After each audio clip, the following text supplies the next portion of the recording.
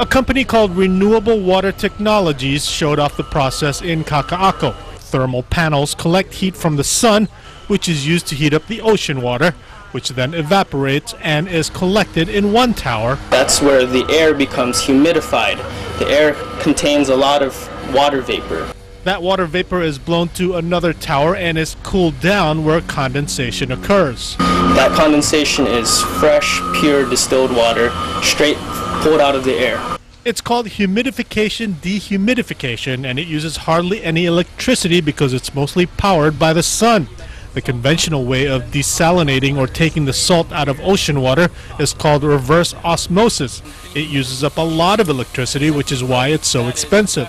The new process would be more practical to use in a disaster area, say a Pacific Island nation hit by a tsunami or typhoon, where drinking water runs short. Or we want to put it in a, a shipping container, mobile container, take it out to those sites and start producing water right away. Because that's, of course, the first need that any population has. The company says the military is very interested in the technology to help other nations. The process also has commercial use. Longer term, we can see coastal resorts using a system like this for maybe irrigation um, of a golf course or something like that.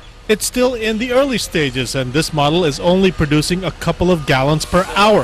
The plan is to build one that can produce thousands of gallons a day. Manolo Morales, KHON2 News, Hawaii's news leader. Now, if it was smaller and light, it would be great on Hokulea. Oh,